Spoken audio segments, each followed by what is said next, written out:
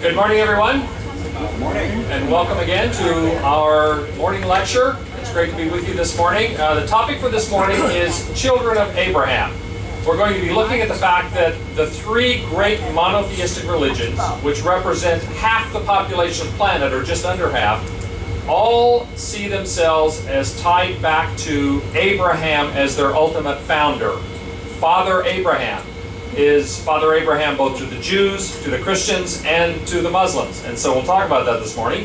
Before we get into the details of it, um, I, I, and I should say, by the way, that in two days' time, I will be doing a talk on um, Islam, Introduction to Islam. And so I'm not going to get into a lot of details about the Islamic faith today, but we'll get into a lot more detail when we have an entire lecture about that. But I'll give you a basic introduction to some of the, some of the primary points of Islam today. Um, as I've done before, these are the lectures I will be giving this afternoon. Emily will be doing the Tomb of Tutankhamun, and we expect wonderful things from that. What's that? Oh, sorry, sorry. She's going to have to use that later. If you don't know what that line means, then, then she'll explain it to you. Um, tomorrow morning, I will be doing a talk on Lawrence of Arabia, the Bedouins, and British victory or Allied victory in uh, World War One. Um, and in the afternoon, then, we will have the movie Lawrence of Arabia with Peter O'Toole, which is a three and a half plus hour movie. And so that will be great fun. Um, later on, in um, I will be doing again the next day Introduction to Islam, I believe in the afternoon, and then History, Culture, and Conflict in the Middle East. And Emily will also be doing. She's got uh, a number more talks she'll do. We then are going to sort of, especially after our next stop, We've still got a couple of days, and we'll probably be doing movies either in the morning or in the afternoon. I was suggesting Pirates of the Caribbean. I'm not sure what they're going to end up with. Um, but uh, my niece told me that they were coming out with another, uh, a new pirate movie, and it was rated R. Uh, okay, rough crowd. So all three of the great monothe- monotheistic religions of the world today see themselves as going back to Father Abraham. He was the world's first great monotheist. In terms of time, he actually predated Akhenaten, the, the Egyptian pharaoh who, uh, who pushed for a monotheistic belief, or at least a henotheistic belief, in Aten. So Abraham is the first great monotheist. God said to him, in return for your obedience, um, I will, and this is a passage from uh, the 12th chapter of Genesis. I should say, if you're not familiar with the book of Genesis, the first 11 chapters of the book of Genesis are called a prehistoric prologue. And it, it's primarily about four major events in the history of the, it's the creation of the world, the fall, the introduction of sin into the world, uh, the flood with Noah, and the Tower of Babel. Then at the end of chapter 11, we get introduced to Abraham, but we really find out about him more as we start chapter 12. So the first 11 chapters of Genesis, prehistoric prologue, and when we get to chapter 12, it begins to look much more like what we consider a historical approach, a story of families and events. So in the beginning of chapter 12, the Lord has said to Abraham, or Abram as he was first called, his name got changed later, um, leave your country, your people, and your father's household and go to the land I will show you, God is saying. I will make, and then he gives several promises. If, if Abraham will do that, God says, I will make you into a great nation and I will bless you. I will make your name great and you will be a blessing. I will bless those who bless you, and whoever curses you, I will curse, and all the peoples on earth will be blessed through you. These were the promises God made to Abram, who became Abraham, if he would be obedient and follow God where God takes him. This is then restated, in effect, a second time in the 15th chapter, a beautiful passage. In the highlighted section, God takes Abra- tells Abraham to go outside and look up at the stars. And he says, Look up at the heavens and count the stars, if indeed you can count them. Then he said to him, So shall your offspring be. Abram believed the Lord, and it was credited to him as righteousness. A lot of people believe the Old Testament is all about the law. The law didn't come till Moses, almost 500 years later. The original arrangement with Abraham is follow me, do what I tell you, and I will bless you. And you will have, and at this point, Abram and Sarai, his wife, whose name later got changed to Sarah, were quite old already. And the idea of them having children was pretty much out of their minds. But God said, I will not only give you children, I will make of you a great nation, more than the stars in the sky. So this was the promise.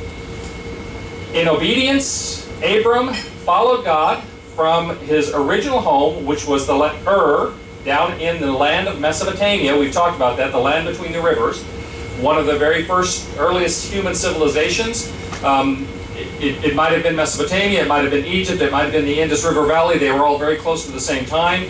Abraham followed God's instructions up to Haran, where Terah, uh, Terah, his father, died, and then down through Canaan, which would later become the Promised Land, into Egypt, and then back again.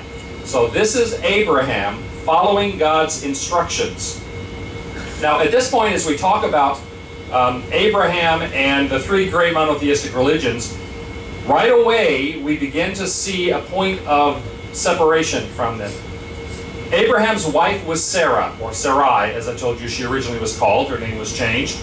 They, by the promise of God, were given a son, Isaac. He was not their first child, the first child born to Abraham, but it was the first child born to Sarah. Isaac had two sons, Jacob, who later was renamed Israel, which is where the name of the nation comes from, and then Esau. Esau uh, became the father of the Edomite people. And then from Jacob, he had 12 sons. They became the 12 tribes of Israel, the Hebrew nation. Now, before Isaac was born, Abraham and Sarah had been promised by God that they would have children, and it was a custom in ancient times, or at least not uncommon, for um, a servant, a handmaiden, to also bear children in the name of the family. And so they got impatient, and so Sarah herself suggested that Abraham lie with Hagar, who was Sarah's handmaiden. Hagar gave birth to a son, actually the first son in this family, whose name was Ishmael. Ishmael became the father of the 12 tribes of Ishmael. And they were the Arabic peoples, others as well. I mean, there's more than just the Arab peoples that are seen as being descended from Ishmael. So you have these two lines, both looking back to Abraham as the father, but one line through uh, Sarah, Isaac, Jacob, and the 12 tribes of Israel became the Jewish nation. The other line through the handmaiden Hagar to Ishmael and the 12 tribes of the Arabic nations at one point, uh, Sarah, after she has a son and he starts growing up and Ishmael is older, she starts worrying that at some point Hagar and Ishmael might claim that, that they have a right of inheritance, when in fact Hagar wasn't married to Abraham. So Sarah says, Get rid of this woman and her son. Abraham at first doesn't want to do it, but God says, Don't worry about it. I will take care of them. I will make, and in fact, I will make of Ishmael a great nation. And he did. There were 12 tribes from Ishmael, 12 tribes from Jacob, called uh, Israel. So they send them away, and when we talk about the Islam, much of the symbolism that occurs during the Hajj, the Islamic pilgrimage to Mecca, has to do with Hagar and Ishmael and the events that happened to them after they left the household of Abraham.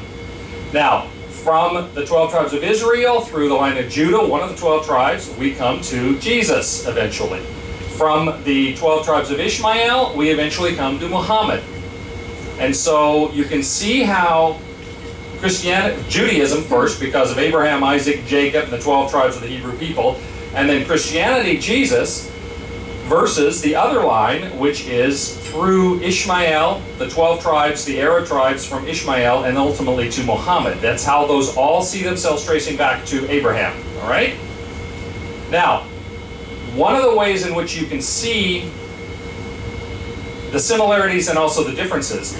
Islam, as I'm going to talk about in just a second, um, Muhammad believed that God had given him a corrective both Judaism and Christianity are honored as being people of the book.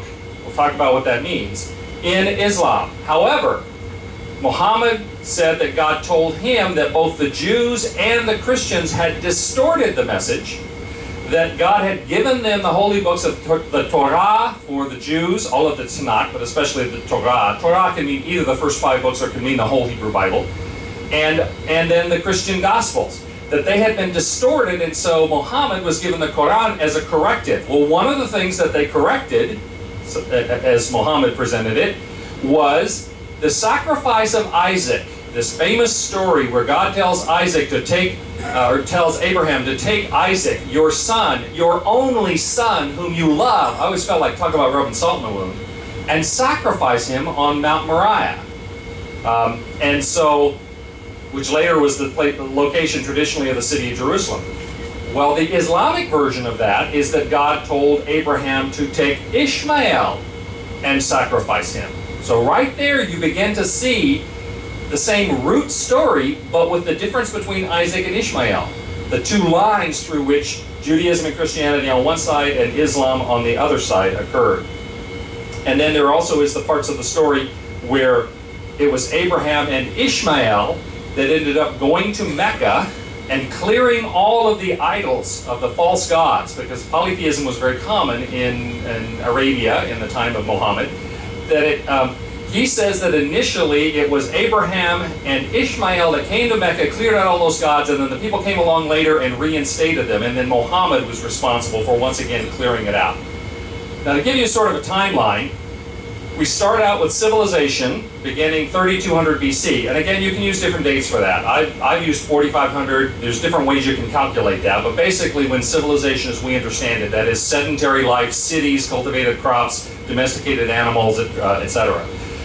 And then somewhere around 2000 or 2091, circa, Abraham comes along, is obedient to God, and follows him. And so Judaism, following Abraham, Father Abraham, as we talked yesterday, sometime around the middle of the 15th century by traditional dating, Moses comes along, is called by God to lead the Exodus out of Egypt, to receive the law, which created the religion of Judaism, at Mount Sinai, and then starts the Jewish faith. After 40 years of wandering the desert because of being disobedient, most of the people did not believe that God uh, could help them, was sufficient to help them overcome the people who occupied Canaan. And so they wandered for 40 years until the whole generation of adult males had died out. That's why they wandered for 40 years. The only ones who still remained alive were the ones that had believed God, Joshua and Caleb. They enter into the promised land around 1406 BC. Then the next, uh, a lot of things happen. You have Joshua and his people conquering the land. Around 1010 BC, King David is anointed as the second king of Israel, the, the united nation of Israel, the united kingdom. Um, after Saul, the first king, was disobedient and God was, uh, you know, got rid of him. But King David became the great king, the second, or actually the third of the most critical characters in the Jewish faith Abraham, Moses, David. Abraham started them as a people. Moses was the lawgiver through whom the faith, the religion of Judaism was given, and David made them into a nation, the nation of Israel. And then 966 BC, Solomon begins building the temple, and the temple becomes the focal point of Jewish faith from that point on. Then we have about almost a thousand years later, around 6 or 4 BC, we're not exactly sure, we have the birth of Jesus, a Jew, in Bethlehem, in the nation of Israel. Jesus, the, the promise was given to the Jews all through their history that they would have a Messiah, one who would come of the line of David, who would be like a great king like David had, to make them a great nation again, as they had been under David. Under David and Solomon, Israel was a significant nation. They had visitors from other parts of the world. They were wealthy. There were not other major powers in that time that they really had to be as afraid of. It was sort of a lull in between the uh, Hittites, the Egyptians, the Assyrians, and Babylonians. They came along later gave them a problem, but they grew under David and Solomon because it was a time of relative peace in the region then the promise had always been given that a, an heir to David, of the line of David, would come that would make them a great nation again. The Jews had no idea, they did not have a conception that this would be anything more than a man, like David was a man, that he would be born of the line of David, become a ruler for them. Jesus comes along, he begins his ministry at about age 30, so we're looking at somewhere around 24 AD now, of course, the dividing point. Um, and by the way, I, when you read things nowadays, you may see a difference. I'll give you a little sidebar here.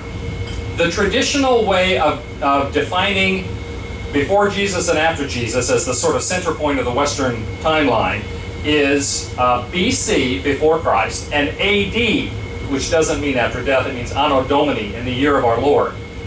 Well, there's a lot of scholarship that is not Christian in its orientation, and so it's very common nowadays to talk about BCE, which means before the Common Era, and CE, Common Era. So BCE is how the scholars, uh, scholarly people now refer to what we used to call BC, And CE, or Common Era, is what we typically historically have called um, AD. Okay, just so if you see BCE or CE and you wonder what that's all about, just translate it in your mind to BC or AD, if that's what you're used to. Okay, so Jesus comes along. He spends three years in ministry, and he then is crucified, according to the Christian uh, beliefs. But he is resurrected and ascends into heaven.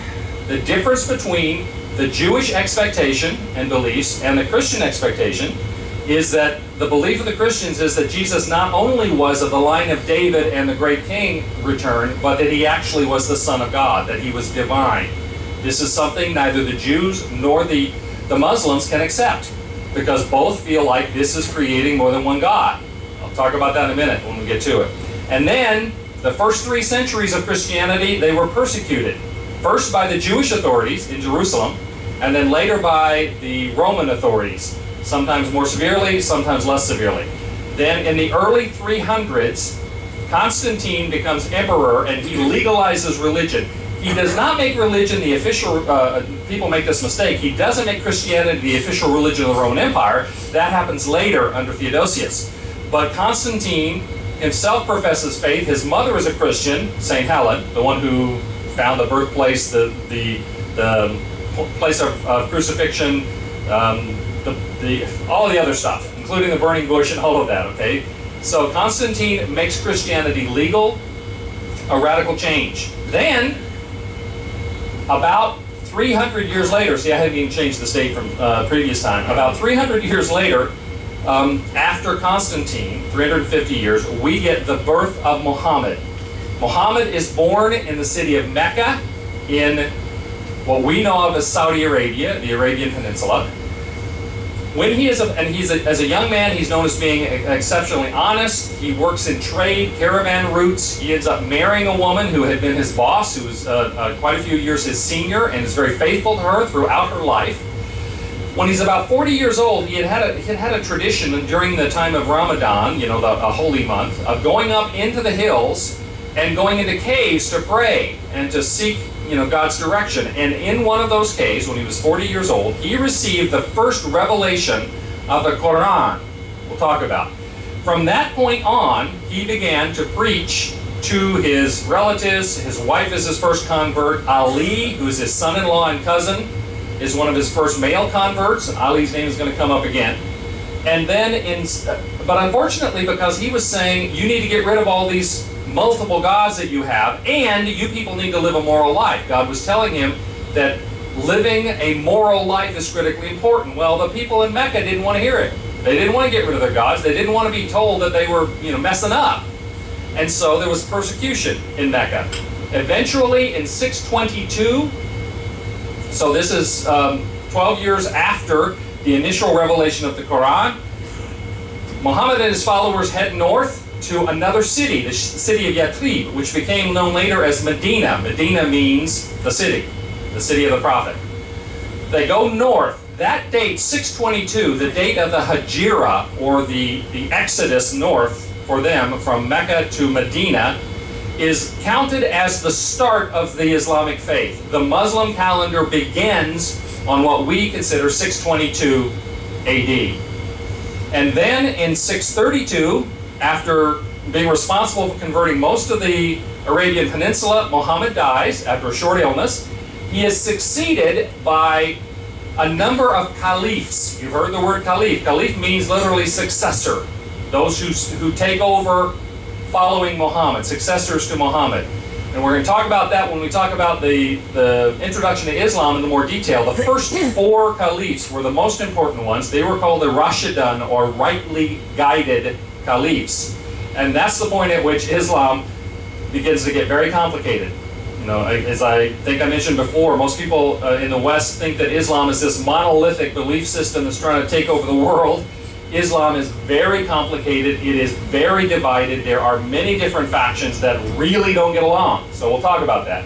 So in 632, Muhammad's death, the caliphs, the four Rashidun, rightly guided caliphs, take over, and then there are a number of different uh, caliphates or dynasties of Islam that we'll talk about.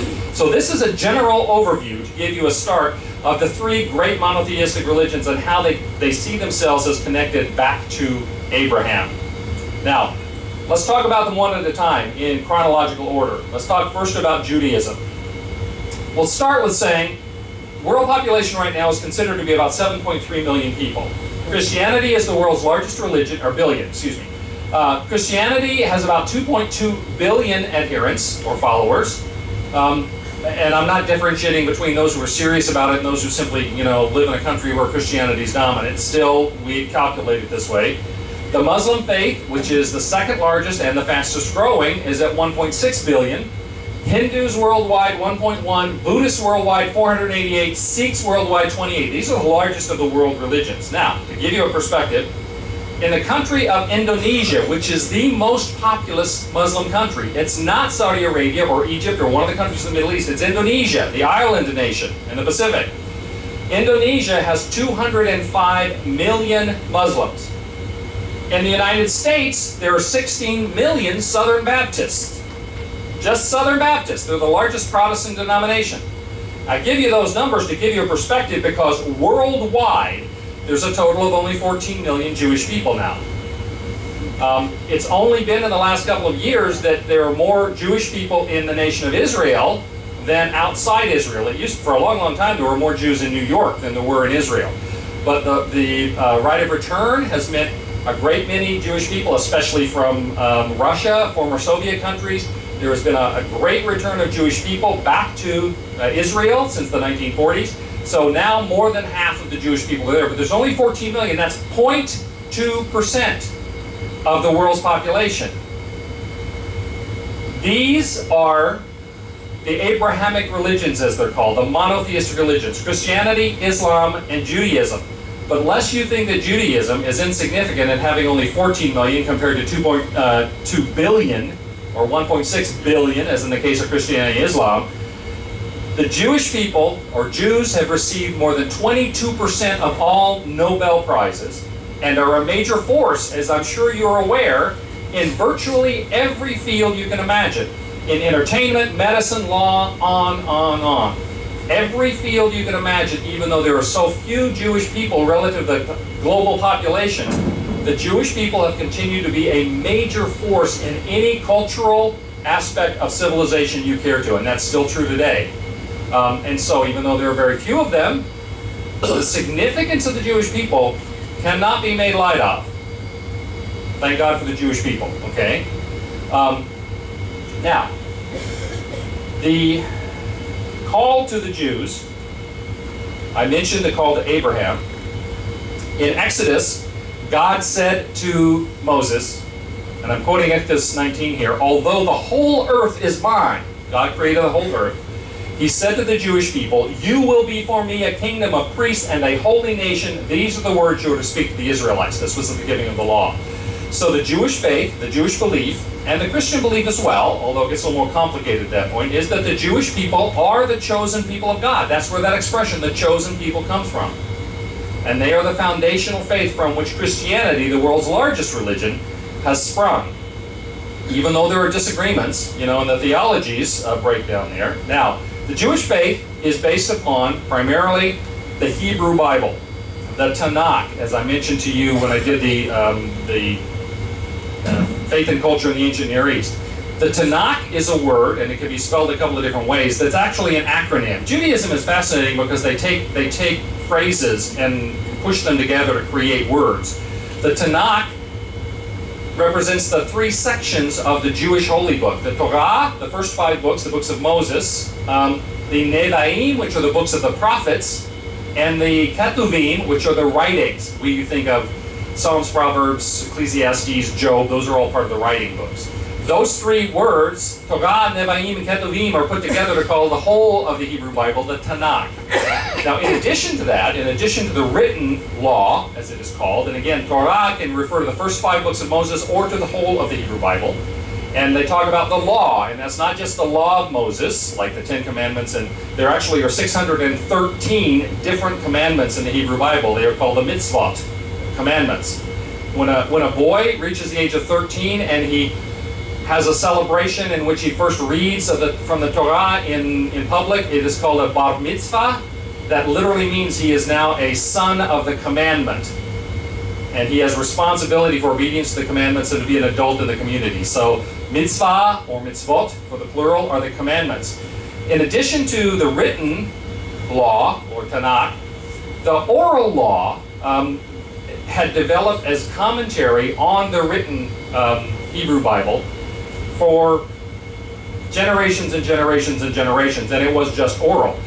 When we get into the second century AD, it had gotten so long and it had gotten so difficult, they decided we have to start writing this comment, these commentaries down now. And, the, and this is called the Talmud.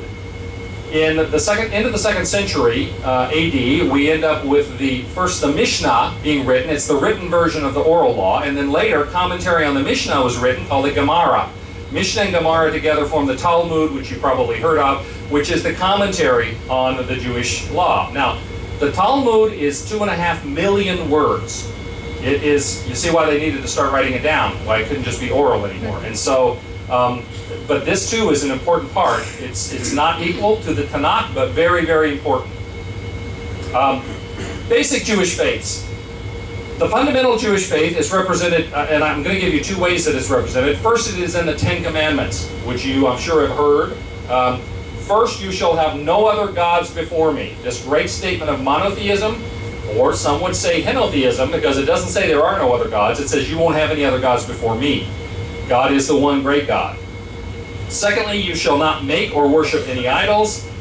Third, you, which is why you don't have any images in Jewish synagogues, right? Because you don't make you, no graven images, and, and rather than take any risk of that, there aren't any images in a standard synagogue.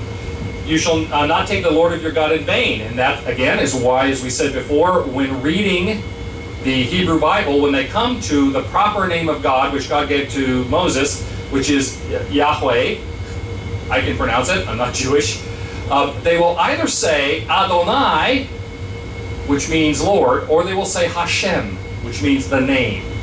They'll sort of, they'll, they'll um, replace the proper name of God with one of those two expressions. Jehovah, did I tell you this? The word Jehovah? The word Jehovah does not exist. You've heard Jehovah. What happened is when they're teaching, especially boys, to read the Torah, when they come to Yahweh, they're not allowed to say Yahweh. They're told to say Adonai.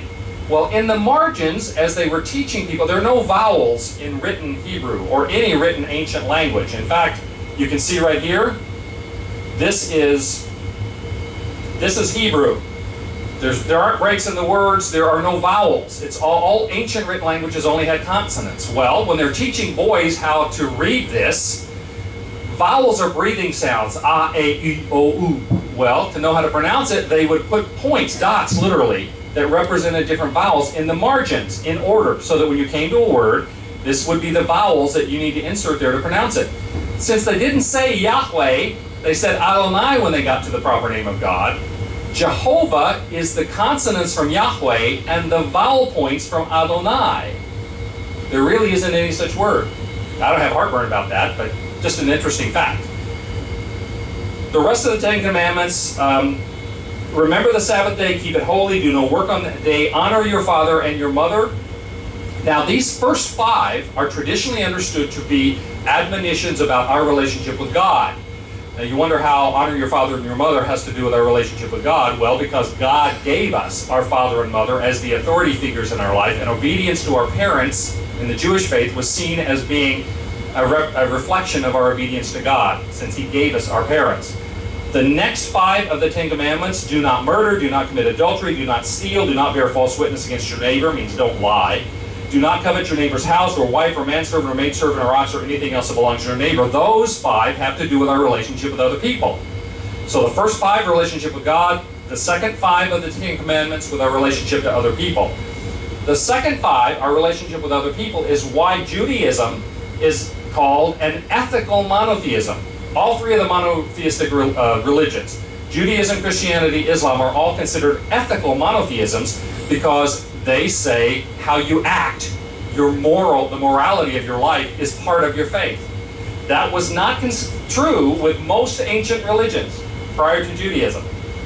Um, so ethical monotheism is a critical part of it. The Ten Commandments, and then the total of 613 commandments, or mitzvot, in the Hebrew Bible, are the law that was given.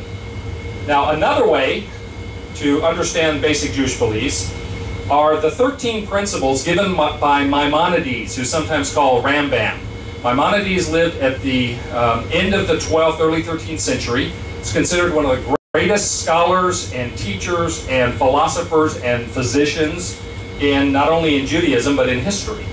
He came up with 13 principles that he believed reflected the truth of the Jewish faith and what Judaism was. Those are number one, God exists and He is a creator. Number two, God is one and unique, there is none other like Him. A reflection of the Jewish faith is often seen in what's called the Shema, um, which says, Shema Yisrael Adonai Eloheinu Adonai Echad, which is, uh, Hear, O Israel, the Lord your God, the Lord is one. And it continues in Deuteronomy to say, You shall love the Lord your God with all your heart and, and uh, heart and soul and strength. There's two versions of it in the New Testament, so I twist it sometimes. Um, this is, you've seen Jewish people with tefillin, these boxes, they have a box on their head and they wrap it around. Well, the admonition in, in the Tanakh to keep the Word of God on your mind and to keep it close to your heart, those boxes, which they wear on the tefillin, have the Shema, Hear, O Israel, the Lord thy God, the Lord is one, written, and so it's to be kept on their mind and kept close to their heart, which is why it's wrapped around their arm, so the box is right here. Um, Maimonides continued. God is not physical, He is spirit, God is eternal. Prayer is to be directed only to God. The words of the prophets are true. The prophecies of Moses are true. The Torah, the law, was given to Moses. There is no other Torah, which is why the difficulty uh, in Judaism of accepting either the New Testament of Christians or other uh, writings. God knows the thoughts and deeds of all. God rewards the good and punishes the wicked. The Messiah will come. There's the Jewish expectation for a Messiah and the dead will be resurrected. The Jewish faith too has an idea of an eternal life and resurrection of the dead. And Maimonides is seen, his 13 principles are seen as a reflection of what Judaism is by many. Now, there are differences. But when you look at the Ten Commandments and the 13 principles of Maimonides, you get a very good sense of what Judaism is, what the belief of Judaism is all about.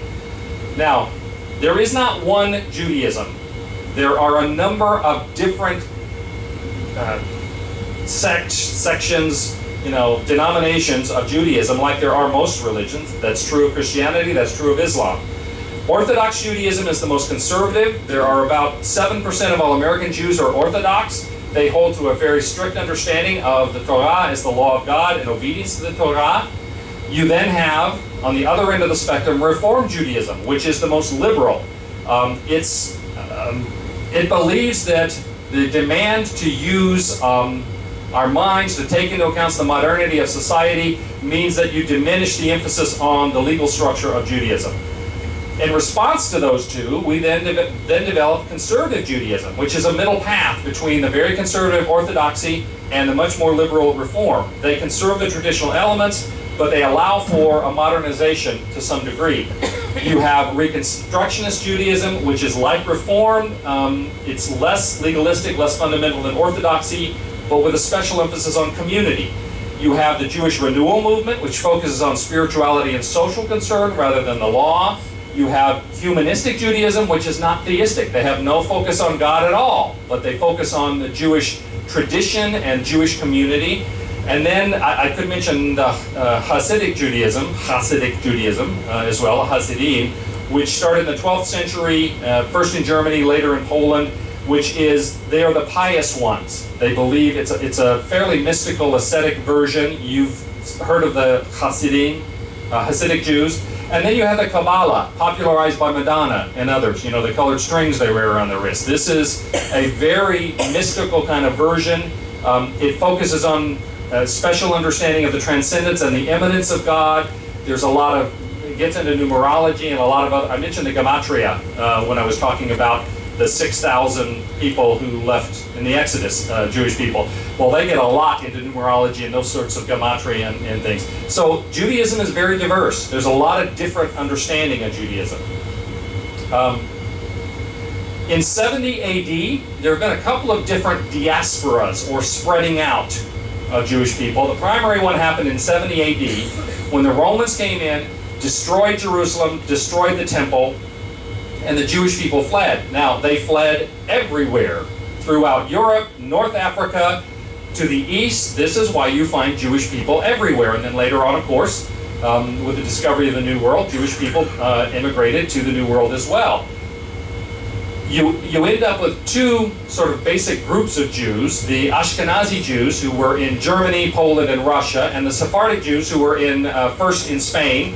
They then got thrown out of Spain in the 15th century after the Muslims were driven out of the Iberian Peninsula, Spain and Portugal. One of the very first things that the monarchs, Christian monarchs, did was throw all the Jews out of the Iberian Peninsula as well. So they traveled to North Africa and other places.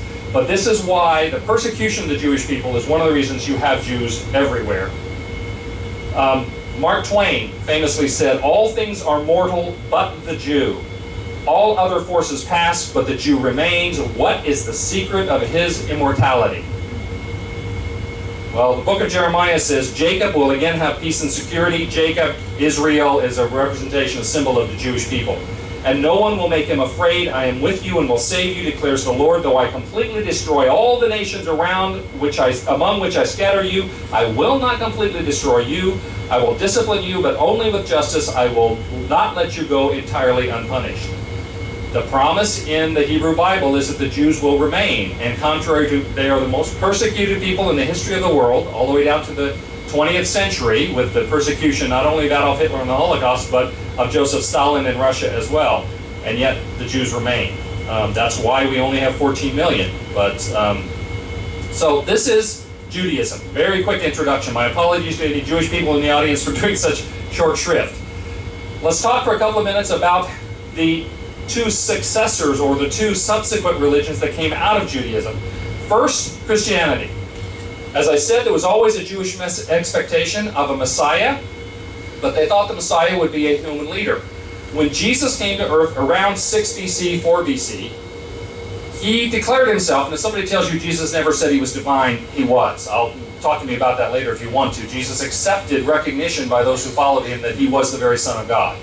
Um, he lived for 33 years on the earth, is our understanding, and that story is given to us in the New Testament, it's called. The Christian Bible is of two parts, as I'm sure you probably know. The what, what Christians call the Old Testament is the Hebrew Bible, and it's all the same. Now it's broken up differently, and it's in a different order. For instance, the Jewish the Jewish Bible has one book of Chronicles, one book of Samuel, one book of Kings. Christianity broke it up into First and Second Chronicles, First, and Second Samuel, First and Second Kings, primarily because the longer books it was hard to put them on one scroll, so they broke them up. The Hebrew Bible has one book of the minor prophets, or the book of the 12 it's called. Christian, the Christian Bible, the Old Testament, breaks it up into 12 different books, the minor prophets. And then we have the New Testament, which is the story of Jesus and the story of the growth of the church and instruction to the church following that. So um, the Hebrew Bible is considered part of the Holy Bible of the Christians as well the basic beliefs of Christianity. I'm going to spend less time on Christianity because I think most of you come from that tradition. And then I'm not going to spend a lot of time on Islam either because we're going to deal with that in two days. The first belief of Christianity is that there is only one God. He reveals himself in three persons, the Holy Trinity. The Father, Son, who is Jesus Christ, and the Holy Spirit. A unity sharing in one substance. Now, how's, what's that all about? Jews and Muslims both say Christians have three different gods. A lot of different analogies have been attempted to explain how God can be one God with three persons. Um, one of the better analogies is an egg. There is one egg, but it has three distinct parts. There's a shell, there's a yolk, and there's a white, right? All of them have different purposes, but they make up one egg. To me, the analogy I use when I teach about the Trinity is a person. You know, I'm one person, I'm one being, but I have a controlling mind, the cognitive part of me, I have a spirit, which is the part of me that that that receives and deals with non-cognitive things: love, loyalty, honor, trust. Those aren't cognitive values, but yet there's a part of me that responds to that. And I have a physical body. It is possible for my mind to be gone and my body to survive for a time after that. Or for my body to no longer work, but for my mind to still be alive. So there is a separation there, and yet they make me one person. This is the Christian concept, I believe, one way to understand the Christian concept of the Trinity. And yet we are monotheists. We believe in one God. Belief of Christians is that God is all-knowing, all-powerful, omnipresent, all present in all places at once. These are the omnis, okay? He created the world as distinct from himself. Pantheism, like some of the uh, some of the Asian religions, say that all things that are are part of God. Judaism and Christianity and Islam, none of them say that. They say that God created the world as separate from himself. So it's not pantheistic. He created the world distinct from himself, but is active within it as creator, as sustainer, and as sanctifier, meaning to make it holy. The belief of Christianity is that Jesus was and is the promised Messiah of the Jewish people, and there is um, there is a messianic Jewish movement, which again Orthodox Jews have a lot of trouble with. But a recent study was done that there's a significant change over the last 50 years amongst Jewish people. One third of Jewish people now believe you can be Jewish and also believe in Jesus as the Messiah that the Jews have been expecting. That used to not be the case at all. Um, and yet that is more common.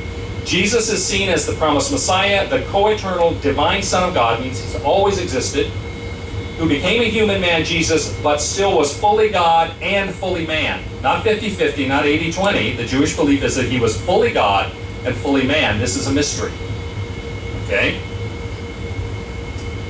And the idea of Christianity is that no one can earn God's mercy or become truly righteous on their own but they can only receive forgiveness and mercy by accepting Jesus as God's Son who sacrificed himself on the cross to atone for human sins. Christianity is entirely oriented around the, what we believe about Jesus as being the Son of God. That's, you know, if you wonder where somebody falls in terms of their Christianity, what do they believe about Jesus? Now, by AD 70, which is only about 40 years after the death of Jesus, Christianity had grown significantly due to the efforts of Paul, the Apostle Paul, and others, not only throughout Israel, Canaan, the Holy Land, but up into what was then called Asia Minor. This is what we call Turkey, over into Greece, to Rome, the islands of the Mediterranean, Cyprus and Crete, um, and then also um, the North Africa, Cyrene, Egypt, around Alexandria. This is within about 40 years. Without email, without airplanes, without you know, modern transportation, the word spread very quickly. And remember, this was during a time when it was under persecution. By the 500s, Christianity had spread throughout. The, the green line is the Roman Empire in 565. The yellow areas, all of the all of the uh, Huns, the Visigoths, the Ostrogoths, the Franks, the, all of the the pagan people that had uh, in, the, in the 400s had destroyed Rome, etc. Most of them had converted to Christianity over the next century and a half after the, the destruction of Rome, or the conquering of Rome, I guess I should say. It was never fully destroyed. And so you have Christianity existing all the way up into Germany, France as we know it, all of the Iberian Peninsula, all of North Africa, the yellow areas, Egypt, all along the eastern Mediterranean. So Christianity, by the mid 500s, extended beyond the Roman Empire. Okay? And I tell you that I give you that for a specific reason because remember sort of that, that area when we talk about Islam. Like Judaism, there are a lot of different types of Christianity. Roman Catholicism, and when I talk about Catholicism, somebody came up and mentioned to me that there's a Western Catholicism that, that has married priests, etc. Yes, there are a lot of smaller, you know, when we talk about the large divisions, there are smaller uh, pieces or versions of Christianity as well, but uh, for the sake of the time we have, we can only talk about the big ones. Roman Catholicism the, uh, in, started in Rome, Western Europe. Orthodoxy in the 11th century, there was the Great Schism in which Eastern Christianity, which spoke Greek and had a different rite, and Western Christianity, which spoke Latin, divided. Uh, wild story. And then Eastern Orthodoxy and Oriental Orthodoxy, other versions of Orthodoxy, then split up within the Eastern or Greek version of the church. In the 16th century, we have the Protestant Reformation, starting with Martin Luther and Zwingli in Switzerland, later on John Calvin. They um, started out trying to correct the Catholic Church, what they believed were errors. That correction was not well received, and so they ended up splitting off, and that's where Protestantism came from. The four major areas of Protestantism right now are Lutheran, Reformed, which are the Presbyterians, um, Anglican, and Anabaptist. Now, Anglican others, like if you're Baptist, then you came out of actually not the Anabaptist, but the Anglican stream. Methodism came out of the Anglican stream. There, so a lot of all of the denominations that you may be aware of came out of all of that. So this is Christianity. Let's talk about Islam for a few minutes, briefly, so that we can spend more time on it in two days. As I said before, in 570, the Prophet Muhammad was born in Mecca. When he was about 40, right at 40 years old, he received the first of the revelations in a cave above Mecca, which was to be the Quran. Now, Muhammad himself was illiterate. He did not write this down. In fact, as he told it, the angel Gabriel, Gabriel, we use the name Gabriel, it's Jibreel to the uh, to Islam, appeared to him and said, "Recite." And he said, I can't recite, I don't read. And, and Gabriel said, recite. He kept ordering him to, and then finally he started you know, hearing and remembering what the angel Gabriel told him. Later on, he taught that, recited it to his followers, and they later wrote it down. Um, he lived until he was right at 62 years old. Um, during his lifetime, during Muhammad's lifetime, this orange area here on the um, the Arabian Peninsula are the areas, and a little bit over here in, in Oman, is what was converted to Islam. After his death, one of the first things that happened is a lot of the people that had converted to Islam changed their mind again, and so his first successor, Abu Bakr, who we'll talk about, his first job was to settle all those people down and to reaffirm uh, Islam. Under the next four Rashidun, or rightly guided caliphs, all of this other lighter orange area here came under the influence of Islam. And then later on, under the next dynasty of the Caliphs, the Umayyad, they took over the rest of North Africa and all the way up into the Iberian Peninsula to Spain, Portugal, and made ventures, military ventures, up all the way into France to Tours. In fact, the Emperor Charlemagne that you've heard of in the 800s, his father, Charles Martel, is the one that was really as responsible as anyone else for stopping the advance of Islam in that part of the world. You'll notice that at this point, uh, this says the, the growth of Islam, they got up into part of the uh, Asia Minor, which we know of as Turkey. Later on, this, this chart says this is the Arab Empire, the Islamic Arab Empire at its great, greatest extent. You'll notice it does go up right to the border of Spain and France. Now the Byzantine, the remains of the Roman Empire, is this lighter color here. Later on, the Muslims were driven out of the Iberian Peninsula, but at the same time, they took over all of Asia Minor, all of Eastern Europe, all the way up to um, to the gates of Vienna for a very long time. They had several major battles to try to take over Vienna, Austria, and were there for a long, long time. So that was the growth of Islam. Now, Muslim life is um, Islam is quite different in one way from Christianity and um, Judaism in that there's much more of an emphasis. Well, this is true to a great extent with both of the other religions as well, but more so in Islam. Muslim life is more about orthopraxy, which means right action, than it is about orthodoxy, which means right belief. The issue is how do you live your life? Um, it's based upon the writings of the Quran, the holy book which was given through Muhammad, as they understand it, and upon the Sunnah, which is the life example of Muhammad and also his companions, but especially how Muhammad lived his life is the perfect example, and the Hadith, the sayings of Muhammad and his companions. And there's a whole science of Hadith to figure out in Islam what are the most reliable ones, which are the ones that are most, you know, uh, most significant in terms of being obedient to. Now, the revelation to Muhammad was given in Arabic. And the Muslim peoples believe that Arabic is the very language of God. And so therefore, the Quran has to be read, studied, and memorized in Arabic to truly be proper.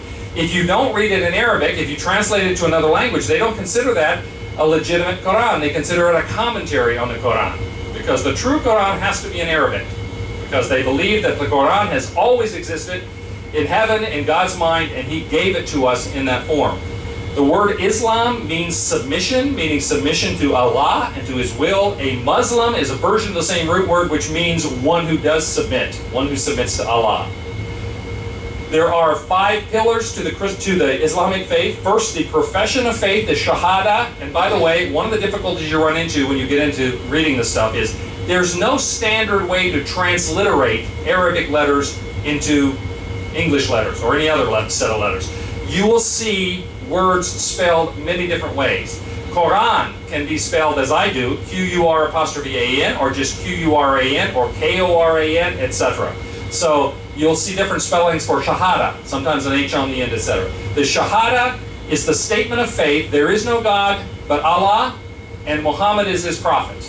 When we talk, I'll get into that a little bit more, but this, all it's required to be a Muslim is to be able to pronounce this correctly in Arabic in the presence of two other Muslims. And you're a member. I mean, you, you become Islamic at that point. Um, if you mean it, if you say it with faith, that is. The second of the principles or pillars is the principle of salah or prayer. You heard the calls to prayer as we were traveling five times a day. There are other, other kinds of prayer that you can do as well. And then on Friday, midday at the mosque is the most important time of prayer. Third is generous almsgiving or zakat, which uh, a Muslim is expected to give 2.5% of their um, material belongings each year, not just your income. It's not a, it's not a tax, it's not a percentage of your income, it's what you have. This is supposed to both care for those who are in need and also to sort of level the field so that there is not an inequity between the wealthy and the poor. Now, one of the interesting things in Islam, because most people in the West think of it as being very rigid, in almost every case there are acceptable exceptions. If you are not financially able to give 2.5%, then you are released from that or you're allowed to give less. If you have reasons why you can't pray at a given time, somebody asked when we were on the Feluccas and we heard the call to prayer, well, these guys aren't praying. You know, what's going on? Well, we didn't know for sure they were Muslims. But if you find yourself in a situation where you can't pray right then, you can do it later. You can, you can make up for it. Um, and so, uh, or if you're not well, if you are, if you are ill, the fourth is fasting or Saum, which is done during the month of Ramadan, the holy month of the of Islam. Um, you fast from day, daybreak to sunset. You don't eat or drink. It's also a time where they don't curse. They don't, you know, during that time they don't, you know, have um, sexual relations with their spouse. There are all sorts of things you're not supposed to do. It's a time to focus on God. Now, because the Islamic calendar is 11 days different than our Western calendar, Ramadan comes at, you know, a different time every year, uh, the month of Ramadan. And so over a period of time, it will be in the heat of summer or in the cold of winter or whatever. You know, so it, it's very different um, in terms of their practice. And fifthly, the, the pilgrimage to Mecca, or the Hajj as it's called. At least once in a person's life, they are expected to make the pilgrimage to the holy city of Mecca to participate in the rites, the rituals at Mecca. Um, this is what that looks like. This is the Kaaba, which we'll explain later what the Kaaba is all about. This is in the main mosque um, in Mecca. Every year, the gathering in Mecca in the last few years has been between two and three million people. It is the largest gathering of humanity anywhere in the world. Now, you have to be Muslim to participate in this. We'll talk about some of that rite, the ritual that goes on there. So, of the Abrahamic religions, what are the similarities and the differences? All three of the Abrahamic religions, Judaism, Christianity, and Islam, believe there is one true God. They are monotheistic. Now, again, Jews and, Muslims don't believe that Christians have that right because they think we actually worship three gods. Interestingly, in the Quran, they talk about the Trinity in the Quran in several places as being God the Father, God the Son, Jesus, and or Isa as they call him, because they Islam believes that Jesus is a prophet but not divine. And the third person of the Trinity is God the Mother, Mary. So very different than the Christian understanding of that. They don't have a sense of the Holy Spirit the way we do. Um, the second common belief is that all life, especially all people, are made by God who is the creator and sustainer of life. God created, He sustains. And social justice and concern for others are, is critical. This is the ethical monotheism part of it. That you, ethics, how you live your life, your morality is important. These are the ways primarily that they agree. They differ, first in terms of the exact nature of God. Christianity differs because they see God as a trinity. Islam believes that the God of Judaism and the God of Christianity, God the Father, are the same as Allah, but that Jews and Christians have gotten it wrong. Now, Judaism and Christianity don't necessarily agree with that, that Allah is the same as, you know, as Yahweh or God the Father. But, um, so they differ some on the exact nature of God, even though they're all three monotheistic. Uh, secondly, the nature of the human condition.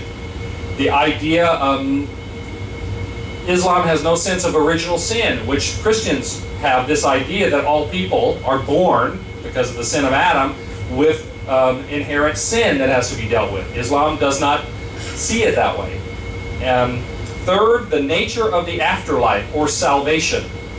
the Jewish belief of um, salvation involves return from exile. All three do have a sense of an afterlife, that the dead will be resurrected, but they have a different idea of what it's going to be like. For instance, in the Islamic faith, any non-Muslim goes to hell. They have a concept of hell and heaven. They go to hell forever. Muslims who have not lived a good Muslim life will go to hell for a little while, but ultimately will be let out and let into paradise. So there's a different view there. And finally, the requirements for pleasing and satisfying God. In Christianity, it is much more of a faith issue that is an orthodoxy, a right belief, than it is action, although you're expected to live a moral life. Judaism has a little of both, but you know, the, the right belief and, and obedience to the law, but it's much more how you live your life in Islam than uh, the orthopraxy, right action rather than right belief. So those are some of the differences. Any questions? Uh, thank you for listening. Any questions about all of that? I know it's a lot but it gives you kind of a summary. Yes? rather complicated question. Um, if the Islamic uh, religion is very peaceful, very concerned about others, very uh, worried about the human condition, and um, uh, militant factors have taken it in a different direction, Right? why doesn't the more traditional group rally against that? The question is if Islam is predominantly a religion of peace, of acceptance, then why, when there are radical elements, why have the others not rallied against them? Actually, they have. Every Islamic um, religious leader, the Grand Muftis of Egypt and of Sudan, every, every uh, predominantly Islamic country has, for instance, spoken out in condemnation against ISIL. And I'll mention a little bit about ISIL we, at the end when we talk about Islam. Um, there have been Islamic um, Islamic radical efforts, what we call Islamism, which means a politicizing of Islam, is basically what it means. ISIL being the most recent example of that. Um, we have to remember that there have also been radical militant aspects to the other religions. Christianity has had its time. You remember I just told you they threw all of the Jews out of out of Spain. Um, some of the actions at various times in the Christian faith. I mean, Jim Jones and the People's Temple, and you know, hundreds of people committing suicide, and on and on. I mean, we can find examples, extreme examples of that in in almost all of the religions. That's not to say it's okay. It's just that we need to make sure that we have a balance on that. The fact is, uh, and people say, well, the, the Quran calls for all infidels, all non-Muslims to be killed. There are 109, I'm getting into details here now, we'll talk about later. There are 109 verses in the Quran that are called the sword verses. And they do say that you witness, and if they will not, you know, if they continue to oppose you, then you, you fight back.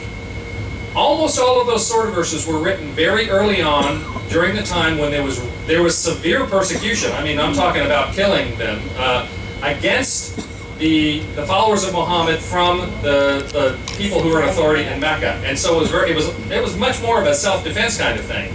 Now the problem is most of Sharia, which is the law, the Islamic law, the, is taken not directly from the Quran but from the Hadith, which is the commentary on the law. And the commentaries on the law differ radically between Sunnah, Sunni, and, and Shia uh, groups, between different schools within those. Some of the interpretations have been much more aggressive, much more militant, much more radical. And so the groups that follow those more radical interpretations justify their actions from that. The vast majority, I mean, you were just in two Islamic countries. And I don't think you had any sense that the people were getting ready to, you know, gather around and stone you or anything like that. The vast majority of Islamic people in Islamic countries are not aggressive. There are factions, but Christians and Jews have had those factions as well. Even the Jewish people in the first century, the Zealots, were Jews who believed that they needed to take military action, violent action, subversive action to get rid of the Romans. You know, so even the Jewish people, which have probably less of that, they've had that as well. So we need to be very careful. We'll talk about that a little bit more when we get along. Okay? Yes. There's a common thread here between these religions that Moses gets the Ten Commandments, uh, Gabriel gets the word uh, uh, Muhammad, uh, even Mormonism, where uh, the angel Moroni comes down and translates the golden tablets. Right. Moses. And they all have this kind of, uh, there's- nobody has the truth. The commandments are are gone, the golden tablets are gone. Muhammad Right. just got his word. Well, what he, what he said was, if I heard you correctly, all these different religions that have writings that claim they were given by God, and that includes not only Judaism, Christianity, Islam, but Mormon, the Mormon Church, etc. They all have writings that they claim were given by God, and yet we don't have any of the original documents because most of them are very, very old. I mean, that's that's the fact. They, when we talked about the Codex Sinaiticus at Mount Sinai at uh, St. Catherine's, the issue of what, what are the oldest documents we can find? The ones closest to the original source, that's always a goal. But we don't have the original documents. Mostly, we don't have them because um, the materials that those things were, were written on were, you know, very much fragile. You know, they, they decayed, they went away. Uh, parchment or uh, papyrus or whatever. Um, the fact is that the religions that have lasted are the ones that have writing. You know, if you if you want to start a religion and have it last, write something down. The ones that did not do not have written records do not uh, are not established. They do not grow. That's not to say that those who uh, are established and have written records that there's something wrong with them, because it, that makes sense that they would have a written declaration of what their faith is about and what their history is. So, uh, Emily first, and then back here. Uh, but isn't the, that question really about the these what these have in common is they are um, religions that are that are revealed. That's correct. Um, That's an important term. It's a very good point, when, uh, and thank you for, for making that point. The idea of revelation. Remember when I talked, my first talk, which was about faith and culture in the ancient Near East, I said that the earlier or more primitive religions were much more about observing the natural world and trying to come up with some way to explain it or understand it or potentially even to control it, you know, by writing or by, you know, by naming. Um, the monotheistic religions all start with God calling Abraham and revealing himself, at least verbally, to Abraham. And so all three of the monotheistic religions and subsequent religions to that, some of them, see themselves as uh, religions of revelation, where God spoke and said, This is what I want you to know. This is who I am. This is who you are. This is how we're supposed to relate to one another. And so, and those are the ones that have a written record of that because they, they recorded various, in various ways, the revelation they received. So you're exactly right. The idea of the monotheistic religions and some of the more recent, more modern religions are revealed rather than religions determined from observation of the natural world. Yes?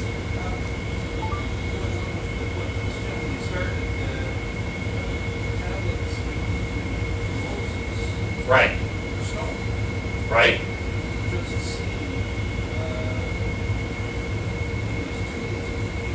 Correct. Right. The, ori the original law was carved on stone. The original Ten Commandments carved on stone. Now, the first set of it, Moses broke in anger when he came down and, and saw them worshiping the golden calf, which I believe was probably Hathor. But, um, and he went back up and God gave him another set. Traditionally, those tablets were put in the Ark of the Covenant, and the Ark of the Covenant was carried with the Hebrew people. But when the, the, at the destruction of the temple, the Ark of the Covenant was lost, which is why we don't have those tablets anymore. And there are a couple of different locations in the world where they believe the Ark of the Covenant is resident. One of them is in Ethiopia. And no one is allowed in, no one's allowed to see it. You guys saw Raiders of the Lost Ark. Maybe it's in a warehouse in Washington, D.C. somewhere. I mean, we don't know. Um, but the idea is, yes, it was carved on stone and the idea of permanence, but those stones were put in the Ark of the Covenant, and the covenant, the uh, Ark has been lost. So that's why we don't have those. Who knows? Someday, we may find it. Now, in fact, that was a point I meant to make yesterday when we were talking about um, the relationship of archaeologically and uh, archaeology and written records, and no criticism there. Archaeology is much newer. Early on, and they're still finding new stuff all the time. I mean, you saw they've got digs, they're coming up with new stuff. An example of the fact that archaeology is giving us a much greater understanding of the world. You've heard of the Hittites. The Hittite culture, which began in Asia Minor, what we call Turkey, and then was a major power starting in about 1600 BC and for quite a long time, and you know fought against the Babylonians and all sorts of things. Um, the Hittites are recorded in the Bible. They're in the Egyptian records. They were in some of the other records of the ancient civilizations, but they had no archaeological evidence. And a lot of scholars said we don't think there really was people, the Hittites. It wasn't until the end of the 1800s, toward the end of the 19th century and into the 20th century, they started finding artifacts. And now they have a mountain of physical archaeological evidence about the Hittites. We know all about them. We know all about the, the, um, the fact that they introduced the um, chariots, um, the battles that they fought against various peoples, we have enormous, we have reliefs, we have sculptures, we have all kinds of stuff. But until about 130 years ago, they we people were saying they don't think think they ever existed. So we're still finding stuff, and we may find more stuff that tells us about some of the things that, that we have just just have record of in writing. Yes. It ironic they didn't know that there was such a man as much as Pilate in 1981. Well, the idea there Seat in Caesarea Maritima. there are historical figures like Pontius Pilate was not known to be an actual historical figure, and later on they found record that he really was the Roman governor during this period of time in the first century. So we're finding new stuff all the time. As I say, the, the wonderful challenge, the great challenge, is we have ancient written records, we have archaeological evidence from times, and we're finding more all the time. To take these two things and understand how to blend them together, uh-huh. and there's always an active interpretation.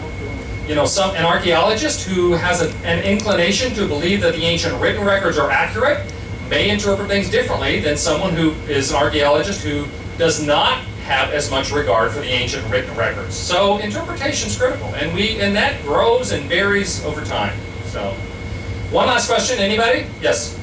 Could you help us understand the differences in the nature of the human condition from Islamic perspective and the Christian uh, perspective? I, you know, we, I think a lot of us are very clear about original sin from a Christian perspective. Okay. But from the Islamic perspective, I think many of us wonder, we, we, we feel like we don't really understand Islamic beliefs, and we'd love to understand. Well, in two days, I'm going to do a whole talk just about Islam. Okay. and we'll get into that. When I said that Christianity has a sense that all human beings are broken, and it's interesting that there has there has never been a a, a major culture of any kind, human culture, that did not have some belief in the supernatural, whether it be God or angels or demons or whatever, magic, something beyond the physical realm. It's also true that virtually every culture we know anything about has had some kind of idea that there's something wrong with us, that people are broken in some way, and that we need the intercession of the gods, or that we need priests to, you know, to offer sacrifice in order to assist us, or whatever. Now, is uh, Christianity have a very clearly articulated idea of original sin, that people are, you know, where it comes from and, and how you deal with it in the person of Christ and all that. Islam is does not have a sense that Islam believes that all children are born pure. And in fact, one of the things that they do in Islam is the first thing that a baby is supposed to hear is the Shahada. There is no God but Allah, and Muhammad is the prophet. They whisper it in the ear of a newborn baby so that the first thing they hear, ideally, is the declaration of the unity of Allah and of Muhammad as his prophet, and then they continue from there. But the, they don't have a sense that people are. It's it's how you act as you get older that sort of you, you either build up on the positive column or the negative column. Okay, and then and then and they, you're judged after that. But again, you're judged, and if you're found inadequate, you remember the wonderful uh, Egyptian images where they weigh your heart against the feather. It depends upon whether your heart is heavy or light. You know the judgment uh, that occurs. A very similar thing, not with that necessarily that imagery, but that in Islam you are evaluated and. Um, but the, the determination, if you're a righteous Muslim, you, you enter into paradise. If you are, have been unrighteous in your life, but you are a believer, you may spend some time in hell, but then you will be released later. So we'll, we'll talk about that in Islam. Thank you all very much for your time. Appreciate it.